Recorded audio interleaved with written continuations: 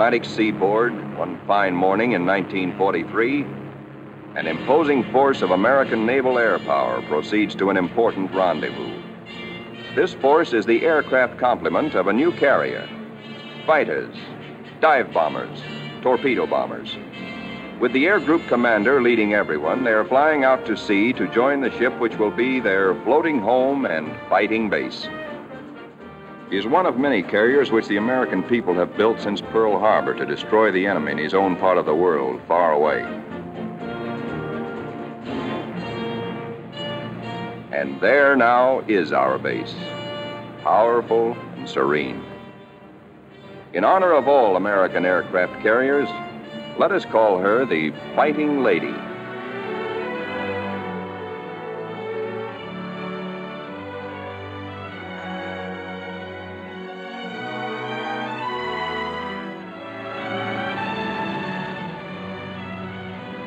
Against a good solid wind with their tail hooks down, our planes come into the broad flight deck of their new home.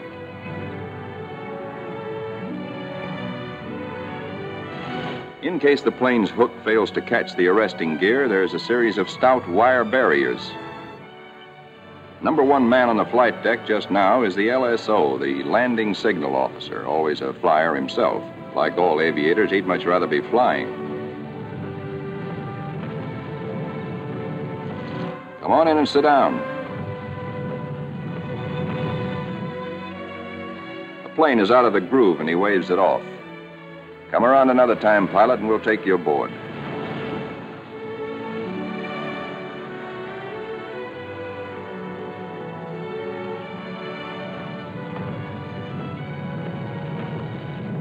When planes land, they taxi quickly forward out of the way. Later, they'll have to be shifted to the stern and rearranged in proper position for takeoff. This is called respotting the deck. Here is our skipper, Jocko, a veteran Navy flyer. Annapolis, 1917. He is not impressed by our earnest efforts, nor are the flight deck control officers. The skipper calls all hands together and gives us a piece of his mind. We'll never be ready for combat unless you flight deck crews learn right now to work as a team. Don't you men realize that before long we'll be in dangerous waters? That's too slow. Bear a hand.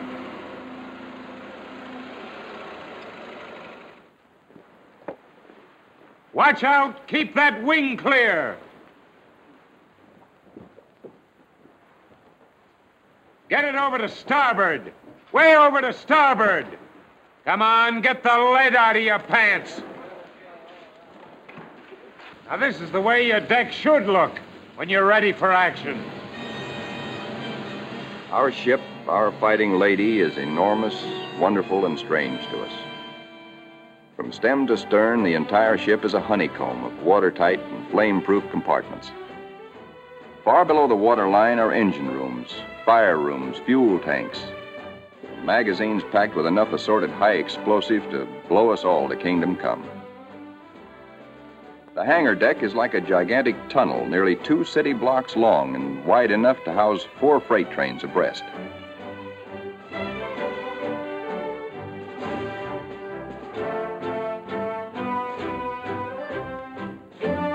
It'll take us a week, a month maybe, to learn our way around.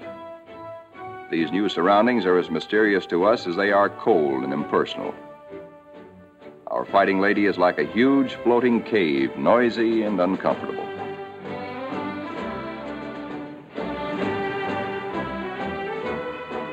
Elevators as big as a tennis court carry us topside to the flight deck. The great superstructure rising amidships is called the island. This is truly the ship's nerve center, its fighting brain.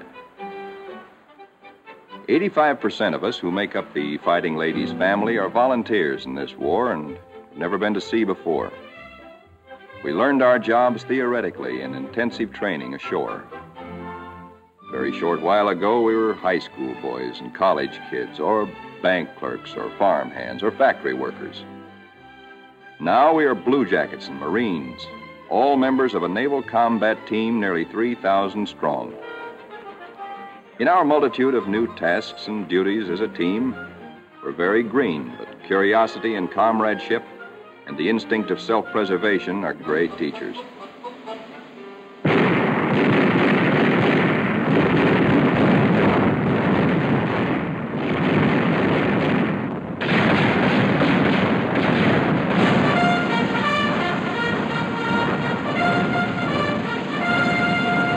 Some of us have to master the delicate and complicated instruments which control the fire of our five inch batteries. The guns that must defend the fighting lady when enemy dive bombers and torpedo planes attack.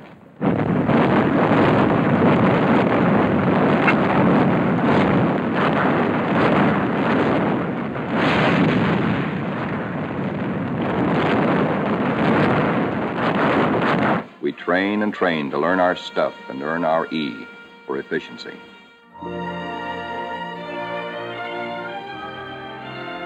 Fighting Lady's destination is still a closely guarded secret. But no one can hide the fact that we are entering tropical waters. Our ship seems more friendly and comfortable now. We greenhorns feel that a suntan will at least make us look like fighting sailors. Even our mascot, Scrappy, has been at sea longer than most of us.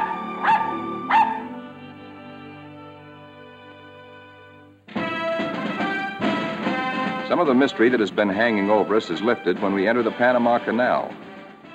There's a lot of unprofessional nervousness about whether or not we're too big to get through the locks. By using lines instead of fenders, we do get through, as the naval constructors knew all along we would. Come on, hop aboard. We're going places.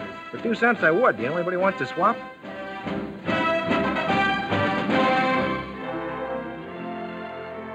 Now we stand out into the Pacific, and life aboard settles down into monotony. Here are our aircraft pilots, officers all. Ship's company call them the Glamour Boys. They are the men who fly and fight our planes. All the efforts of all the rest of us are concentrated on putting these people into the air and getting them back again. Most of us are hiding a certain amount of nervousness and anxiety, for many of us are Johnny come latelys, reserve officers who only recently learned to fly at Corpus Christi and Jacksonville. Others among us are specialists who trained at Quonset Point, Rhode Island. Reserves are called by the regulars, in a friendly way, 90 day wonders. In return, the Annapolis regulars are called the trade school boys. But whether Quonset or Annapolis, all are bound together in the fraternity, the close fellowship of Navy men.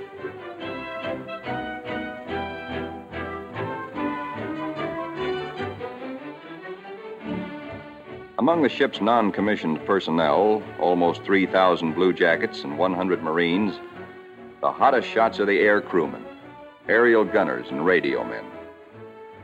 These boys and the plane captains are the partners of the glamour boys in the air.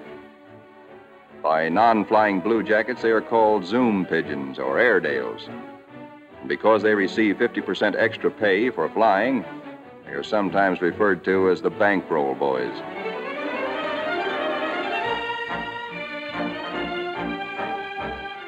Everybody aboard ship backs up the flying group.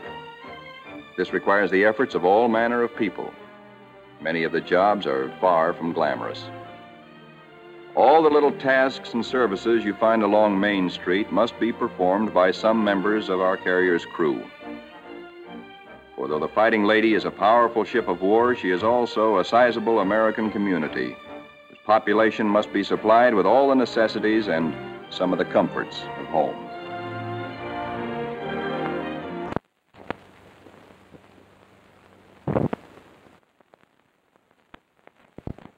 Doc Sorensen, the pharmacist mate, is just like a village druggist. And next door is our hospital called Sick Bay. It has only a few patients now, but soon it is to be filled with our wounded. Men like these who perform the humble jobs that make life aboard a fighting carrier more bearable, the barbers and the cobblers, are seldom mentioned in communiques. They all have a place in our fighting team. Weeks pass. Now we are far out into the Pacific, which is a very considerable body of water. Monotony shuts down on us between our duties. Guessing where we're bound is still our chief pastime. Will we put into Pearl? Are we going to Iron Bottom Bay? Or maybe even to the Aleutians? All such gossip and rumor are called scuttlebutt or drinking fountain conversation.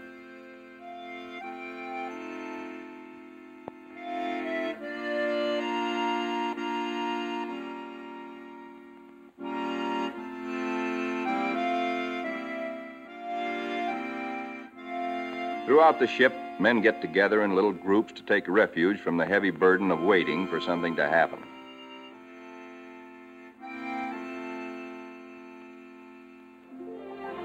And then one day, out of nowhere, comes a fast fleet tanker, and we're refueled at sea. This tells us something. This tells us that we are not going to Pearl or any other land base for a long, long time.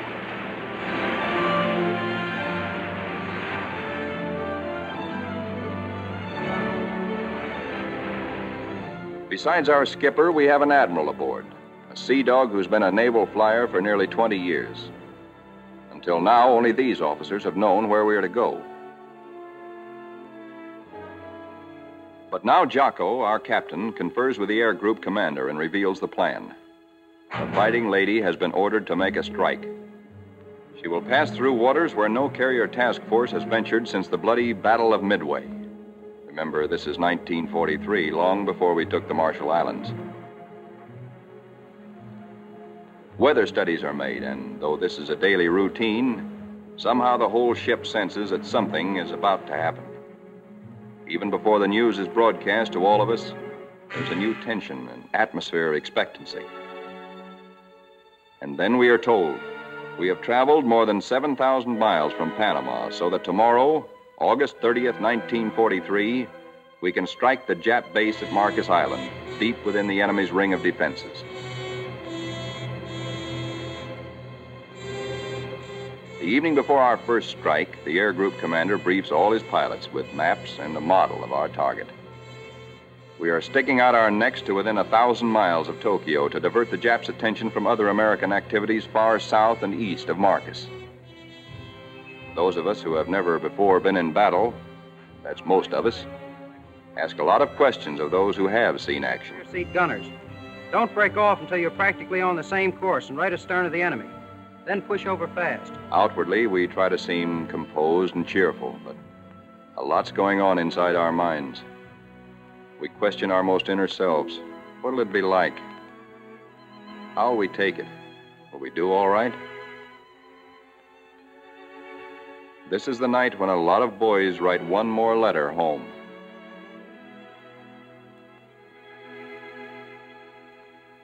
Among those playing acey deucey in the wardroom is a chubby 23 year old from Eureka Springs, Arkansas, Lieutenant E.T. Stover, nicknamed Smoky. That's he sitting on the far right. Having flown 50 missions at Guadalcanal, Smoky has been ordered to take a rest. He'd much rather be flying. Before dark on the eve of battle, our planes are loaded with bombs and gas. So that each plane will be in its precise position for a speedy takeoff, we spot and respot our deck.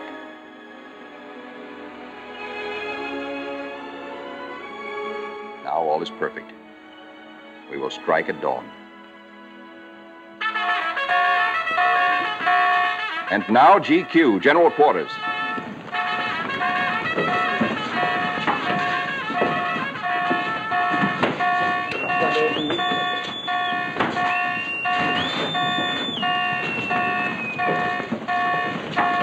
Man on the ship goes to his battle station, his special place on the fighting team. George, the barber, will pass ammunition. Leo, the baker, will be a sky lookout. Frank, the tailor, is assigned to a first aid station. Pilots are in their ready rooms. Each squadron, fighter, bomber, torpedo bomber, assemble separately. Flyers get into their flight gear and receive last minute data and instructions.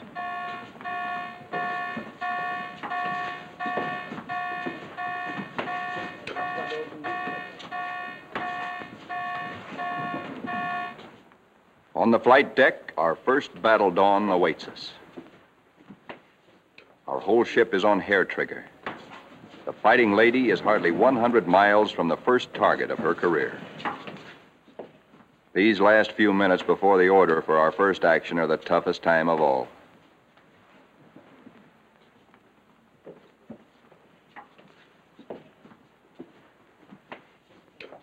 A wise man once said, War is mostly waiting. We learn now what that can mean. At last the word comes. Pilots, man your planes. Ready Room 3, Roger. Pilots, man your planes.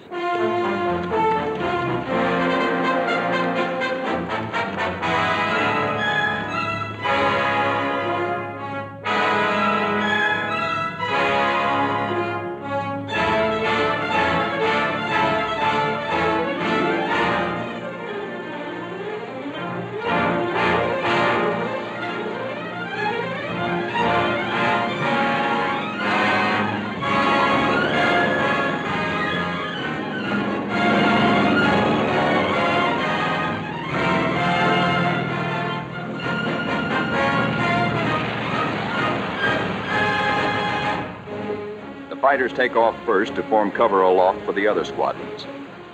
Then the bombers, heavy laden with destruction.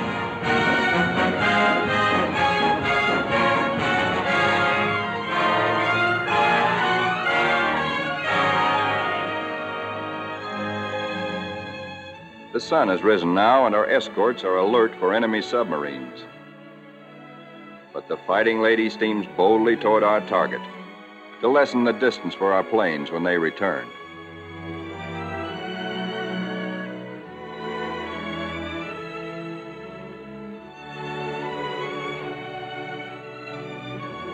The radio plotting room is the electric eye and ear by which the Fighting Lady detects and keeps tab on all planes and ships for miles around us. Smoky, the fighting ace from Arkansas, has been put in charge of this room for our big day. Hunched among his assistants, Smoky is like a super quarterback on a super football team. He is in constant touch with our entire air group.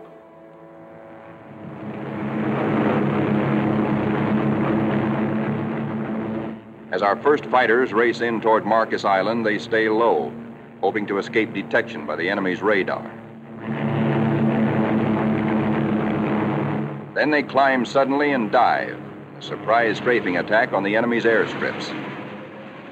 These red balls floating up at us so lazily are anti aircraft fire. There is three times as much of it coming up at us as we can see, because only one shell in three is a tracer. What look like fiery polywogs are tracers from our own wing guns. The Ack is much heavier than expected, but through it we go to knock out enemy bombers on the ground. All through these battle pictures, realize that we are looking straight down our own gun barrels. These pictures are taken automatically by the same mechanism that operates the guns. Pictures even shake with the gun's recoil.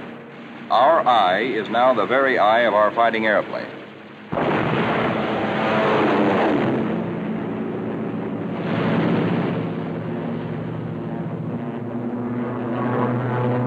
The enemy's picket boats and supply ships offshore are thoroughly strafed.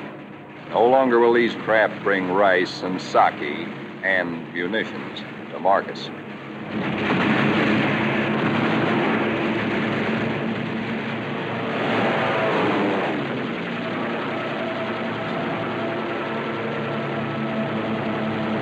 Our bombers flying higher see the island beginning to burn. A moment ago, it looked like a little jade trinket in a cobalt sea.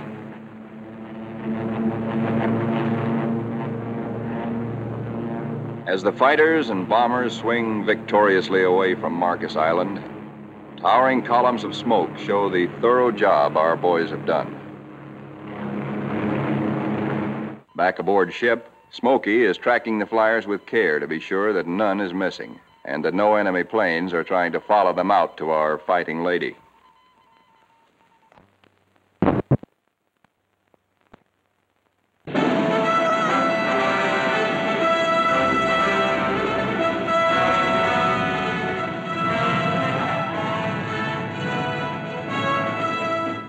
As our planes come aboard, there begins an operation almost as exciting as the attack itself. A ballet after battle, with the plane directors as dancing masters. The whirling propellers fill this scene with danger, but now our crews are trained and adept.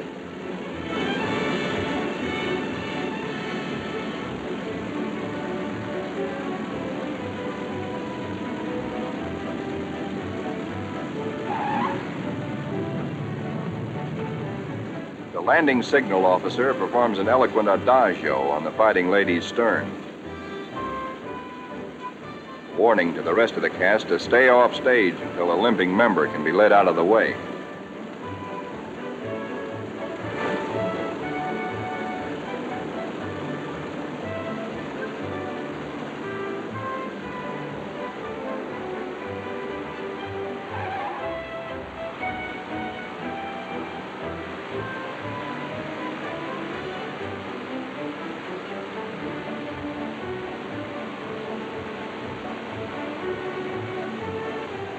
Pilots go below to report to their combat intelligence officers.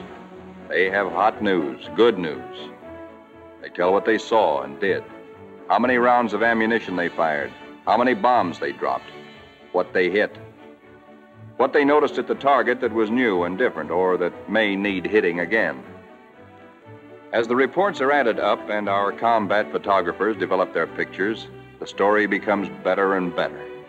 Every single Jap bomber on Marcus has been destroyed. 80% of the shore installations blasted or set afire. Hangars, radio stations, gas dumps, ammunition dumps. Marcus is now a lovely mess. In the radio plot, Smoky is worried. There are planes still up there, and he's wondering about them. They are ours, though, delayed by battle damage. Landing a shot up plane on the carrier is a crucial test of how well trained, how alert, and steady a naval flyer is.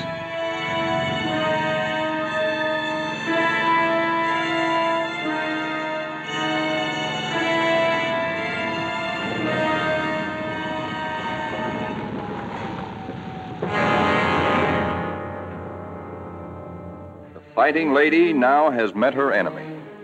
In the wardroom, the pilots who this morning felt new and nervous now talk like veterans. We have been baptized by fire and have survived nicely. We of the Fighting Lady are growing up.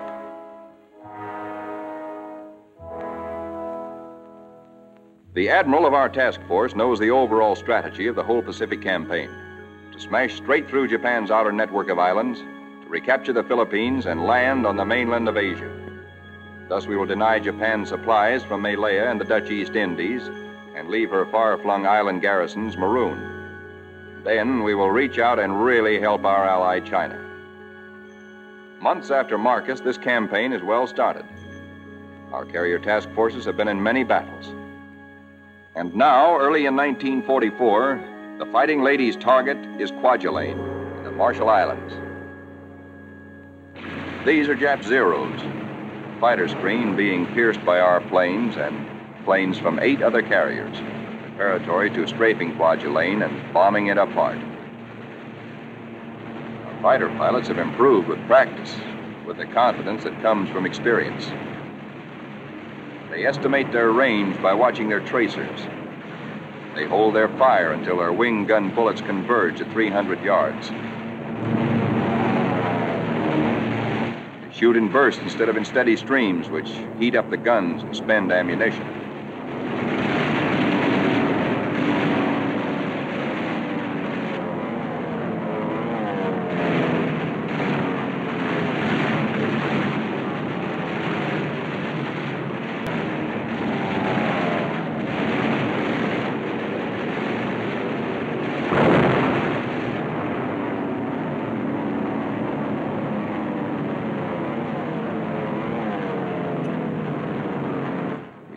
We Kwajalein burning. Very satisfactory.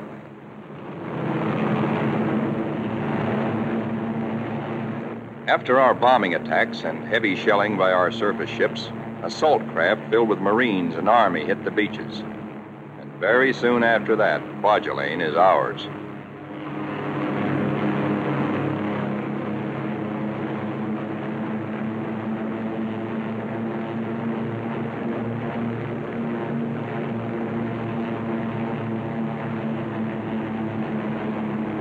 Right after Kwajalein, word comes to our admiral that at Truk, Japan's huge and secret naval fortress 1,400 miles to the west, there apparently are some heavy units of the Japanese battle fleet. Perhaps we can surprise them. Again, the Fighting Ladies Squadron and squadrons from other carriers take off for combat. A lot of mouths are dry at the thought that our target is mighty Truk. The rear seat gunners look back at the Fighting Lady, wondering when and if they will ever return to her.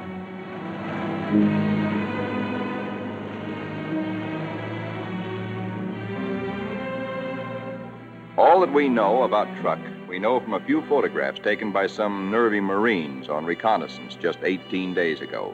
We hear that it is a complex of heavily fortified islands surrounded by airstrips, with naval anchorages at certain spots among the islands. For the next two days, more than 1,000 of our carrier based planes are going to sweep in on Truk in relays. The planes appear to float gently off our bow. Actually, their airspeed is a good 70 knots. Diving in on Truk, we again turn on our guns and their synchronized cameras. Truk's defenders are aloft and we smack them hard.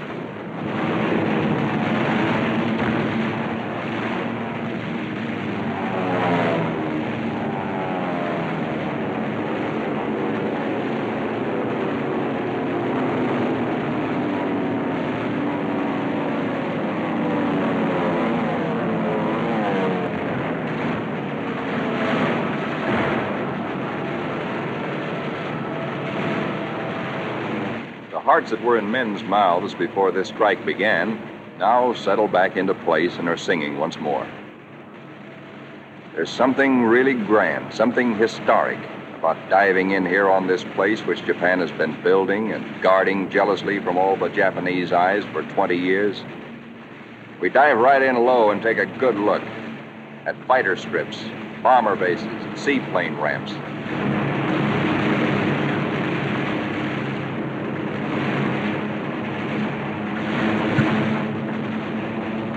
In an almost vertical dive, the pilot may black out or go blind for a moment when he pulls up and out at the bottom. But the camera won't black out.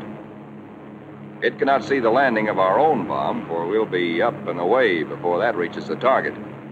But it records the hits of other planes ahead of us.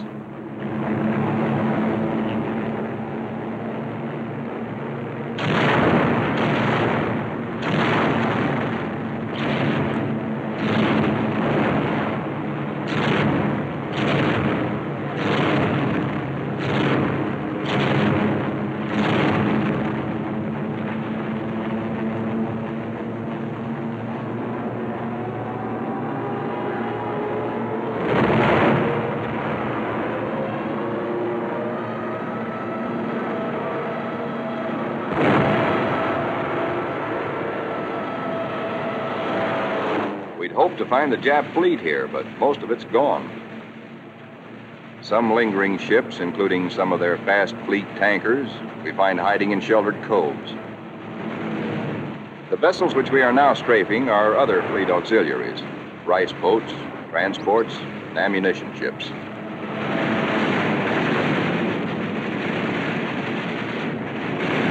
With bursts of 50 caliber incendiaries and armor piercing slugs, we set them on fire, rip them open, often wide enough to sink.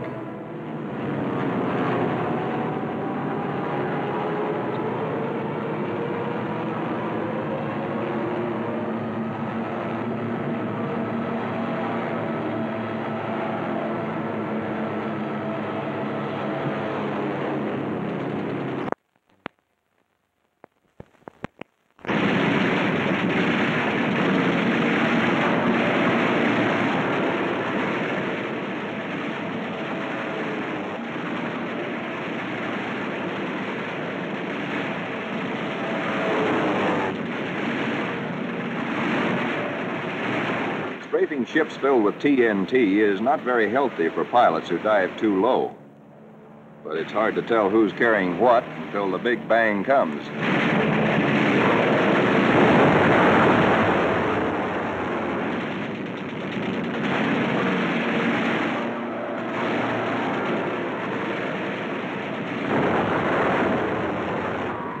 Returning to the deck at 130 miles an hour with a flap shot away, all a pilot can hope to save is his own skin. Here comes our new air group commander. he's had a bit of trouble. His windshield is blotted with blood, and he has to feel his way aboard. Strafing at low altitude, he took a 40 millimeter anti aircraft burst right in the face. More than 200 wounds, and his plane a sieve. But he'll live to fly again. Some planes will not return, but others come back and land somehow, anyhow. Considering the toughness of Truk, our losses are astonishingly light. It's a long way from Truk to our secret rendezvous in the Marshall Islands. Someday it can be told just where this is. Actually, it is a magnificent new fleet anchorage, an advanced naval base, which we have taken from the Japs and made secure. Now, for the first time, we, who have been operating as separate, relatively small task forces, see assembled the enormous mass of naval power. Over one million tons of American fighting steel. New carriers, new battleships, new cruisers, and fleet auxiliaries in an amount which Japan could never conceive, let alone produce.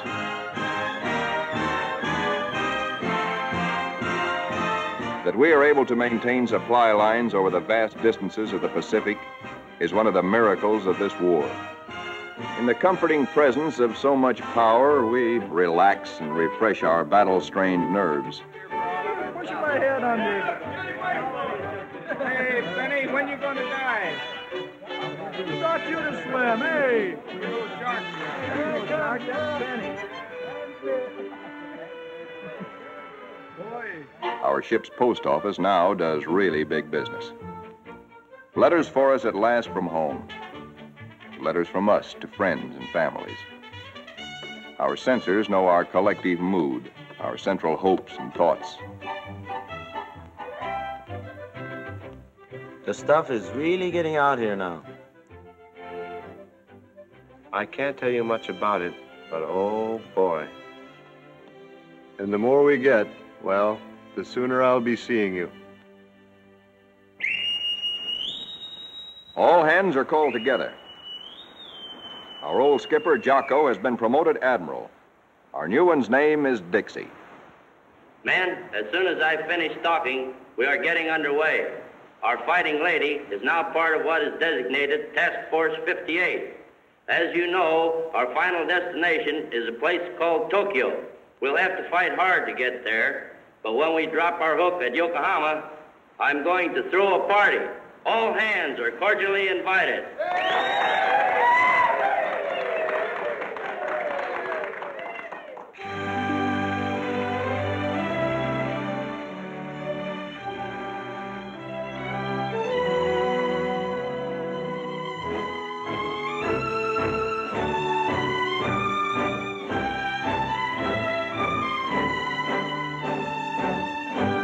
Task forces are built compactly now around carriers like ourselves, with speedy new battle wagons at our side.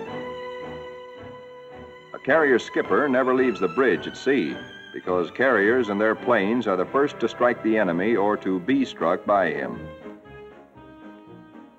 Our aircraft pilots are constantly on call, for despite the mass of power spread out around us, these are still dangerous waters. Our pilots know this all too well, but it doesn't worry them now, for they're seasoned. They know how. There are a lot of new faces among us, but most of these men, too, have been in action. At places like Hollandia, Mille, Jaluit, Palau, Rabaul, Wake, Maloelap. Our rear seat gunners and radio men are old hands now. Some of their faces are different, too, because there have been replacements. A lot of them have been made commissioned officers. There's a saying in the Navy that you never learn to love a carrier until she gets hurt. Well, perhaps we don't really love our fighting lady, but we've become mighty fond of her and almost comfortable, almost at home.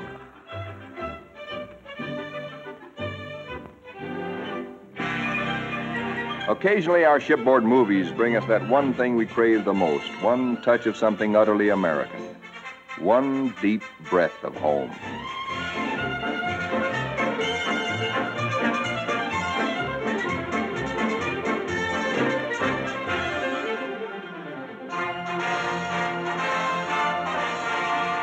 Like Jocko, our new skipper, Dixie, is an old hell diving Navy pilot.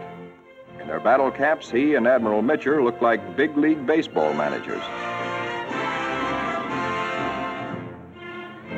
Northwest we steam, and never before in history has an ocean borne such a weight of naval power. Not a Jutland, not at Japan's proud boast, Tsushima, was there anywhere near the force with which we now assert that this is our ocean. This is our air. We're seeking the Japanese battle fleet to prove it.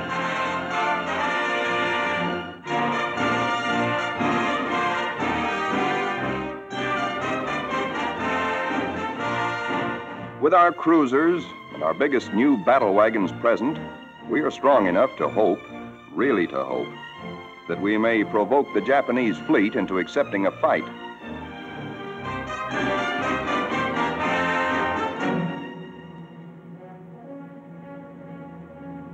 We're joined by plotting Coast Guard and Navy transports. The Marines again. So, another amphibious assault is cooking.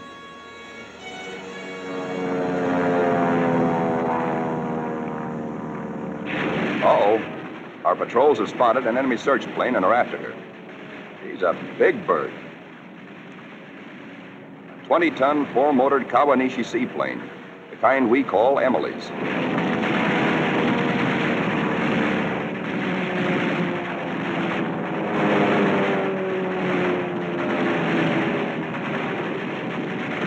Miss Emily's a tough old girl. Right now, she's screaming for help and telling Tokyo by radio where we are. Hellcats are closing in on her.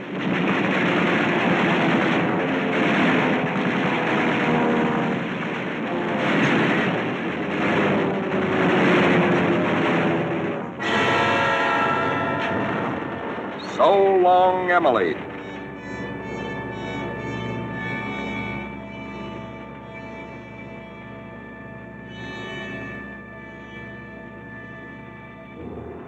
Now that the enemy knows where we are, and we know he knows, our brass hats get together on final arrangements for what may turn into another midway.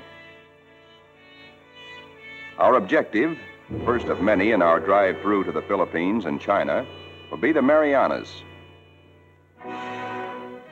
In battles just ahead of us, we are to make good use of a multitude of weapons, special devices, and techniques which have been evolved through the 30 years since the U.S. Navy first took to the air.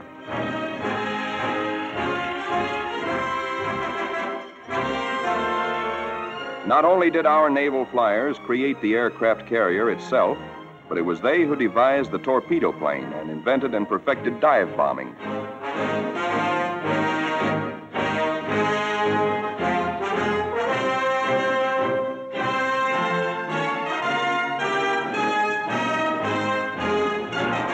Disposed about our flight decks so that planes can be quickly armed are all manner of death dealing objects 500, 1,000, and 2,000 pound bombs.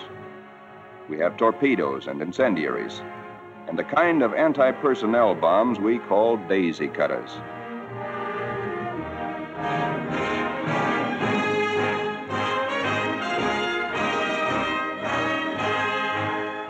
Some of our bombs are armor piercing, some for fragmentation. Others have delayed action fuses to prolong the effect of our bombardment for hours after we have delivered it. Here are the new rockets, which pack the same wallop as a three inch shell.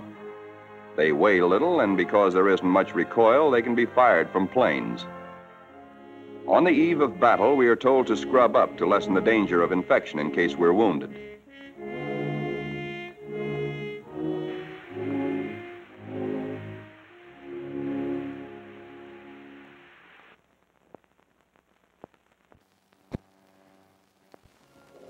As well as our bodies, most of us prepare our souls.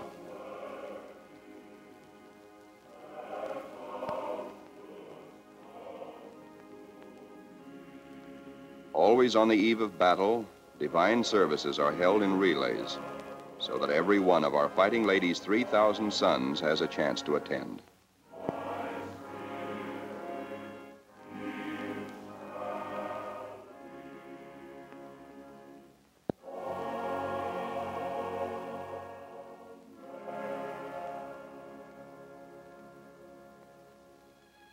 The eve before battle lengthens, there is the usual waiting. Again, we're reminded that war is mostly waiting.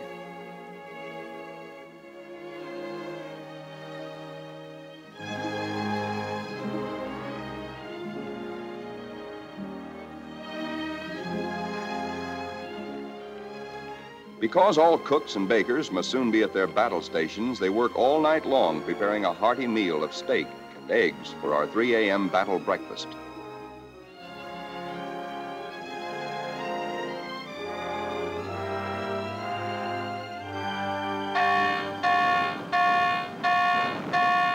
We are being attacked.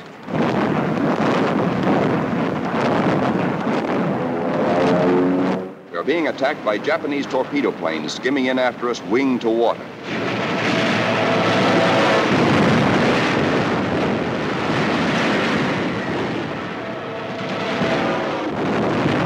All they want is one hit on our flight deck. We have nearly 90 planes, fueled and loaded with bombs, ready for the takeoff.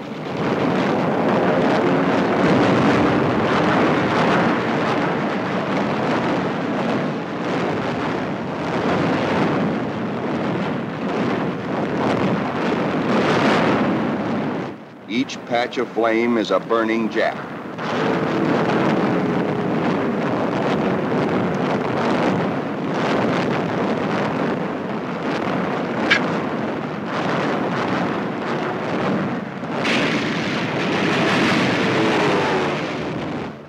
Surprise attack, 19 Japs are polished off by our ship's batteries. Not a single carrier is hit. We have been fortunate. So now commences another major moment in the fighting lady's career. Flight quarters sounds. In this modern warfare, the young plane captains are to their pilots what squires were to armored knights of old. In this operation, typical of many more to come, a lot of other fighting ladies will be involved. And nearly 2,000 carrier-based planes, all of them attacking in air groups like our own.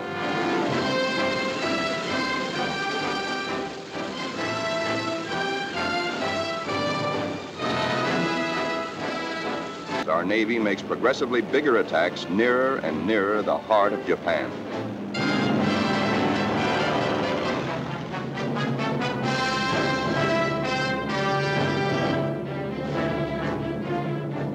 His post and radio plot, tracking down enemy planes and cursing the luck that keeps him out of the air, Smoky chafes at being grounded on a day like this, especially when targets are juicy ones.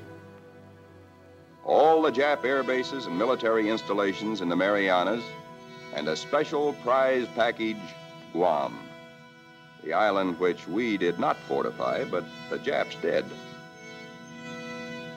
Now comes word that the Japs have sent strong air reinforcements to Tinian, which flanks Guam. Again, our synchronized cameras record, as no human eye and memory could record, just what our guns and bombs do to the enemy.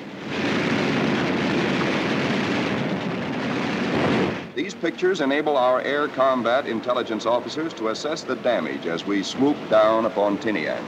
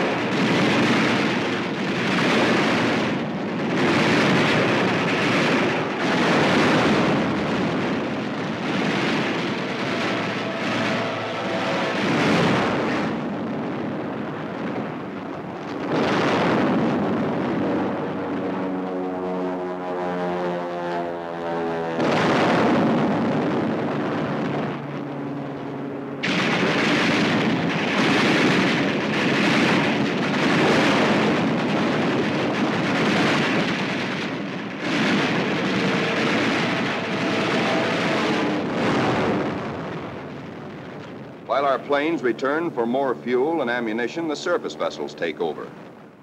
A prodigious naval barrage to prepare the beaches our assault forces are going to hit. Not only our newest, but some of our oldest and proudest battleships are here. The Colorado, the Tennessee, and the USS Pennsylvania, flagship of World War I.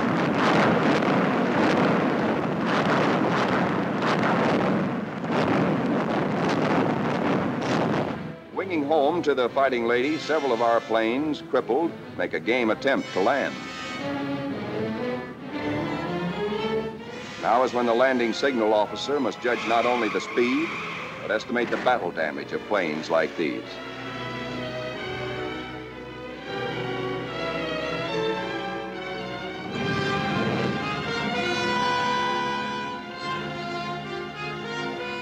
Flight deck emergency crews, firefighters, rescue details, and medical corpsmen exhibit almost incredible courage.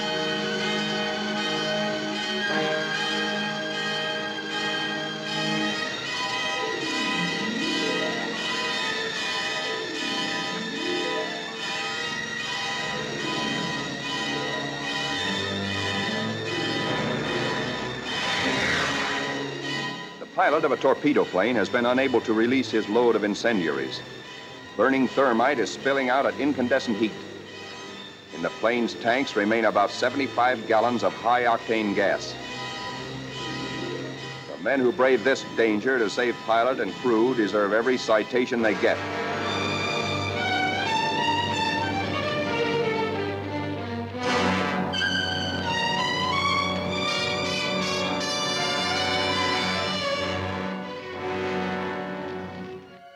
In the ready rooms, intelligence officers question battle weary pilots. What did you see? Any Jap carriers in sight? Are you sure they were carrier based planes? Then from radio plot comes uncomfortable news. Torpedo planes and dive bombers from enemy aircraft carriers are approaching.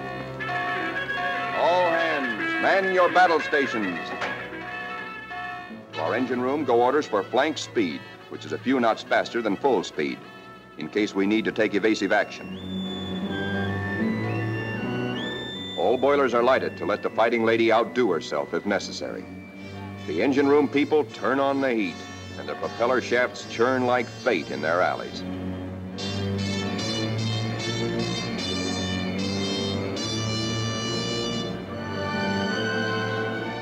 The fighting lady leaps through the sea on her guard.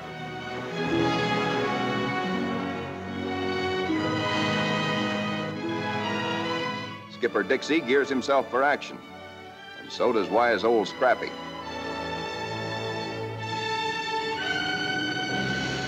And now, here they come.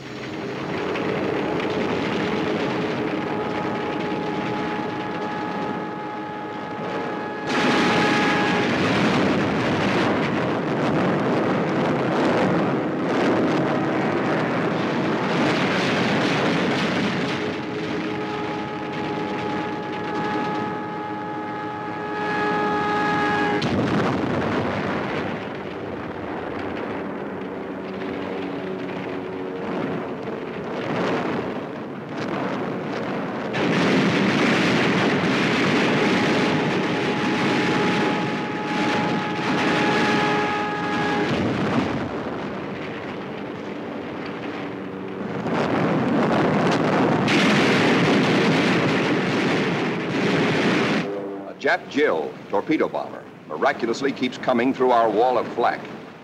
He's approaching us fast with a life that must be charmed. Our gunners throw everything they've got, but still she comes. Head or his release gear jammed.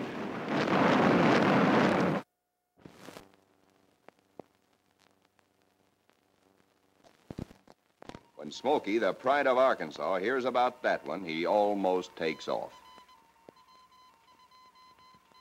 Now our reconnaissance has spotted the Japanese task forces.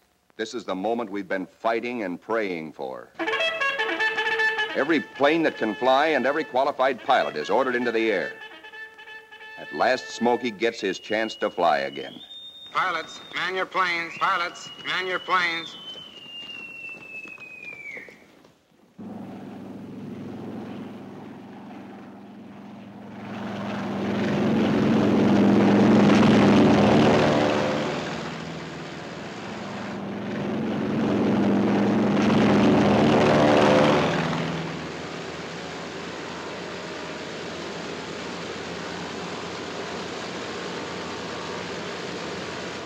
Philippine trade wind is tearing down our flight deck. Our planes strain forward to rise into it. Our entire air group thunders out behind the group commander. Now our fighters run into a smoke Jap fighters, mostly Zeros, sent up to intercept our attack on the Japanese fleet. A mad aerial scramble begins, which the boys to this day still call the Marianas Turkey Shoot. 369 Jap planes are shot down in this single day, to our loss of 22. Japanese plane makers have sacrificed strength and firepower for agility. Their planes disintegrate quickly when you hit them. They have no armor plate, as ours have, nor are their gas tanks self sealing.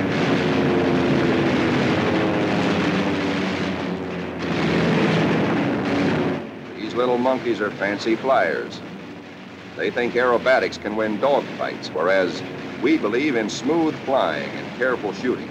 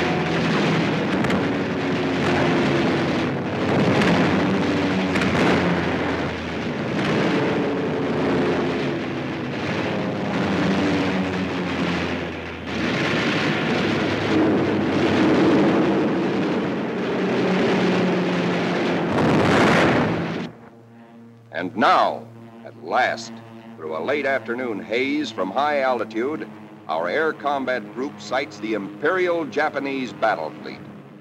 These are the first pictures ever taken of a great enemy naval formation like this.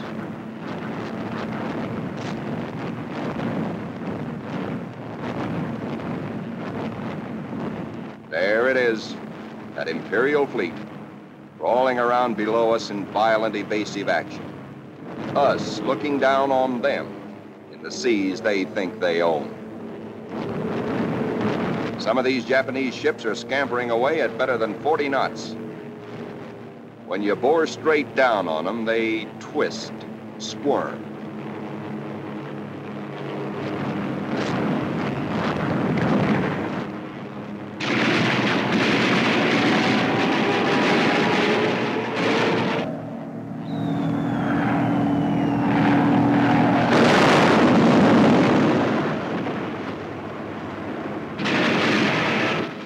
Big destroyer at the bow, hoping to shoot out his bridge. And he shoots back plenty.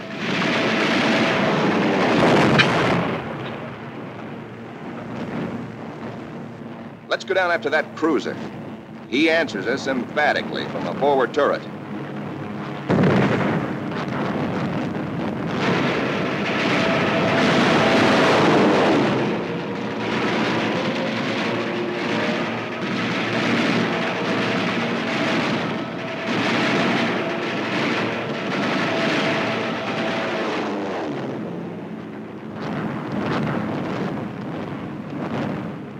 Now a 25,000 ton Jap carrier of the Hayataka class is going to get it. Watch 5 o'clock in the camera, the lower right hand corner of the screen. This big flat top gets it where the turkey got the axe.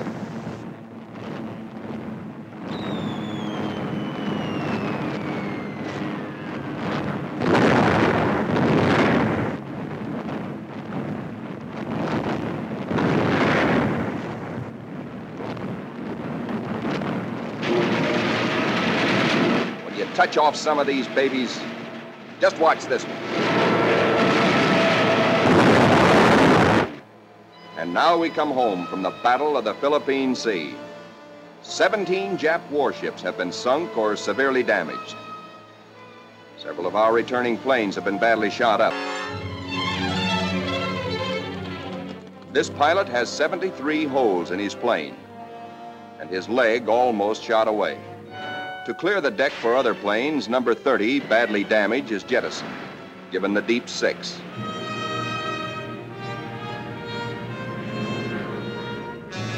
Watch carefully. This man's controls are all but shot away.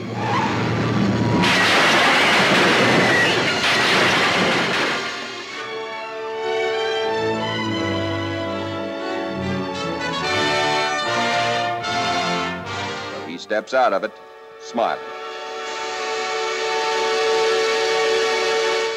And now it is time to paint up the scores.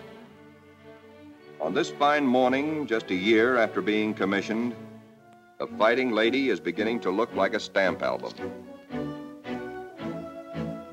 She has done her share, amassing Task Force 58's grand total of 757 Jap aircraft destroyed in a two week turkey shoot.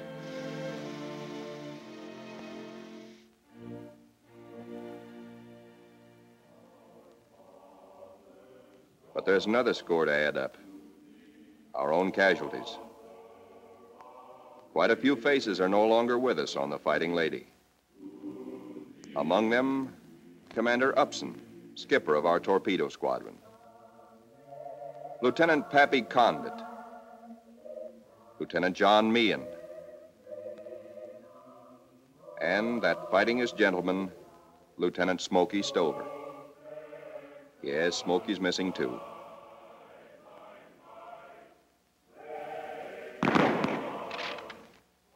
Salute them under their country's flag. For they were brave. They were gallant. Others will come forward to take their places. For the battles we have fought on the seas and in the sky are only the beginning. Still hungry for battle will steam our carrier, serene, powerful, unafraid. She and her planes will come home again someday, God grant, but not until the bitter, glorious end. For she is, and we salute her, the fighting lady.